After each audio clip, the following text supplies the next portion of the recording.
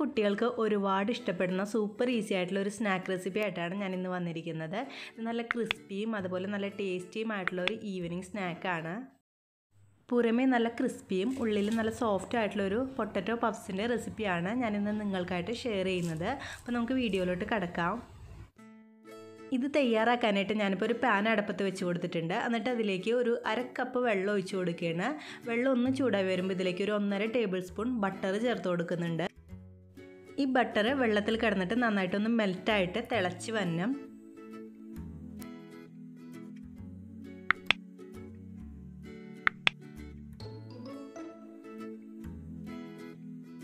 ഇതിപ്പോൾ നന്നായിട്ട് തിളച്ച് വന്നിട്ടുണ്ട്. ഇനി തീ കുറച്ച ശേഷം നമുക്കിതിലേക്ക് ഒരു അര കപ്പ് മൈദ ചേർത്ത് കൊടുക്കാം. എന്നിട്ട് നന്നായിട്ട് കൈ എടുക്കാതെ ഇളക്കി കൊടുത്തിട്ട് നന്നായിട്ട് ഇതിന്റെ ആ വെള്ളമൊക്കെ ഒന്ന് വറ്റിച്ചെടുക്കണം. പെട്ടെന്ന് തന്നെ വറ്റിച്ചെടുക്കാൻ പറ്റും നമുക്കിത്. പെട്ടെന്ന് തന്നെ മിക്സായി കിട്ടുകയും ചെയ്യും. ഒരു മിനിറ്റ് നന്നായിട്ട് ഇളക്കി കൊടുക്കുമ്പോഴേക്കും ഈ രീതിയിൽ നല്ല തിക്കായിട്ട് വന്നോളും. ഇനി നമുക്ക് ഗ്യാസ് ഓഫ് ചെയ്യാം.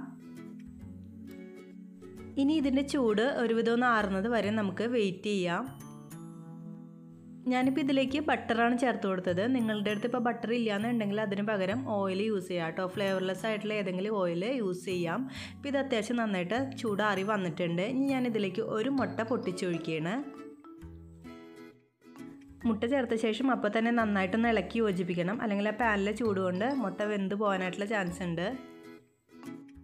കൈ എടുക്കാതെ നന്നായിട്ടൊന്ന് ഇളക്കി യോജിപ്പിക്കണം. ഇതിപ്പോൾ നന്നായിട്ട് മിക്സ് ആയിട്ട് നല്ല തിക്കായിട്ടുള്ളൊരു ഡോ ആയിട്ട് വന്നിട്ടുണ്ട്. ഇനി ഇത് നമുക്കൊരു പാത്രത്തിലേക്ക് മാറ്റാം. ഇനി ഇതിലേക്ക് നമുക്ക് ഒരു കപ്പ് ഉരുളക്കിഴങ്ങ് നന്നായിട്ട് പുഴുങ്ങി ഒട്ടും കട്ടയില്ലാതെ പൊടിച്ചെടുത്തിരിക്കുന്നതാണ്. അത് നമുക്ക് ഇതിലേക്ക് ചേർത്ത് കൊടുക്കാം. ഇതിനായിട്ട് ഞാനിപ്പോൾ രണ്ട് മീഡിയം ഉരുളക്കിഴങ്ങാണ് പുഴുങ്ങിയെടുത്തത്. നന്നായിട്ട് ഒട്ടും കട്ടയില്ലാതെ പൊടിച്ചെടുക്കണം. എന്നിട്ട് നമുക്ക് ഇതിലേക്ക് ചേർത്തിട്ട് നന്നായിട്ടൊന്ന് മിക്സ് ചെയ്ത് കൊടുക്കാം. ഇനി ഈ കൂട്ടിലേക്ക് ആവശ്യമുള്ള ഉപ്പും കുറച്ച് കുരുമുളക് പൊടിയും കൂടി നമുക്ക് ആഡ് ചെയ്ത് കൊടുക്കാം. എന്നിട്ട് വീണ്ടും നന്നായിട്ടൊന്ന് മിക്സാക്കി കൊടുക്കണം. അതിനുശേഷം നമുക്കിത് ചെറിയ ബോളായിട്ട് ഉരുട്ടിയെടുക്കണം. ഈ കൂട്ടിലേക്ക് നിങ്ങൾക്ക് വേണമെന്നുണ്ടെങ്കിൽ കുറച്ച് ചില്ലി പൗഡർ ആഡ് ചെയ്ത് കൊടുക്കാം കേട്ടോ. കുറച്ചൊരു സ്പൈസിനെസ് കൂട്ടാനായിട്ട് വേണമെങ്കിൽ ചില്ലി പൗഡർ ആഡ് ചെയ്ത് കൊടുക്കാം. ഞാനിപ്പോൾ കുട്ടികൾക്ക് കൊടുക്കാനായതുകൊണ്ട് തന്നെ ആഡ് ചെയ്യുന്നില്ല. ഇനി നമുക്ക് കയ്യിൽ കുറച്ച് എണ്ണ തടവിയിട്ട് ഇതിൽ നിന്ന് കുറേശ്ശെ എടുത്തിട്ട് ചെറിയ ചെറിയ ബോളായിട്ട് ഉരുട്ടിയെടുക്കാം.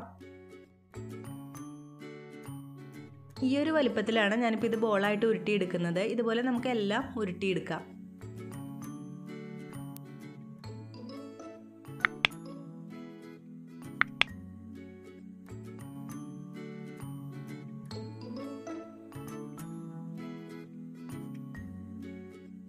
ഇതിപ്പോൾ എല്ലാം ആ ഒരു രീതിയിൽ ബോളാക്കിയിട്ട് ഉരുട്ടി എടുത്തിട്ടുണ്ട്. ഇനി ഇത് നമുക്ക് ചൂടായ എണ്ണയിലിട്ടിട്ട് ഫ്രൈ ചെയ്തെടുക്കാം. ഇത് നമ്മൾ ഫ്രൈ ചെയ്തെടുക്കുമ്പോൾ നല്ല ചൂടായ എണ്ണയിലിട്ടിട്ട് വേണം കേട്ടോ ഫ്രൈ ചെയ്തെടുക്കാൻ. അതുപോലെ തന്നെ ഇട്ടതിന് ശേഷം അപ്പം തന്നെ ഇളക്കി കൊടുക്കരുത്. കുറച്ച് നേരം ഒന്ന് കഴിഞ്ഞതിന് ശേഷം വേണം ഇളക്കി കൊടുക്കാൻ അല്ലെങ്കിൽ പൊടിഞ്ഞു പോവും. ഇത് എണ്ണയിൽ കിടന്ന് മൊരിഞ്ഞ് വരുമ്പോൾ നല്ല പഫായിട്ട് ഇങ്ങനെ പൊങ്ങി വരും കേട്ടോ. ഡബിൾ സൈസായിട്ട് വരും. ഒരുവിധം ഒന്ന് മൂത്തതിന് ശേഷമാണ് ഞാനിങ്ങനെ ഇളക്കി കൊടുക്കുന്നത്. ഒക്കേഷണലി മാത്രം ഇളക്കിയാൽ മതി. എപ്പോഴെപ്പോഴും ഇളക്കി കൊടുക്കണ്ട. ഇനി ഇത് നമുക്ക് നല്ല ഗോൾഡൻ കളറാവുന്നവരെ ഫ്രൈ ചെയ്തെടുക്കാം.